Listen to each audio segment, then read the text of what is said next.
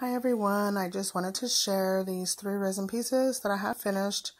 Um, they are going out today, so I just wanted to make a quick video on how they turned out. I did post them on my uh, Facebook page and my Instagram already, but I wanted to post it here on YouTube.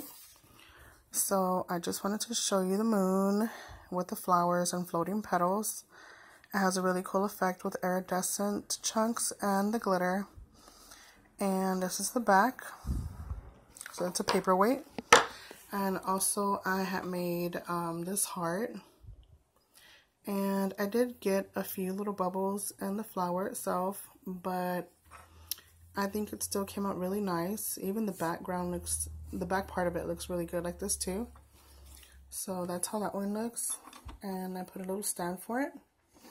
And then the perfume bottle is my favorite. I put iridescent pieces in the background and I glazed the front. I think it came out really, really pretty. And this is how the back looks.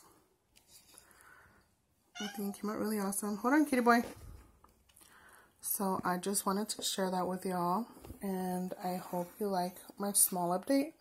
And I will talk to you soon. Bye.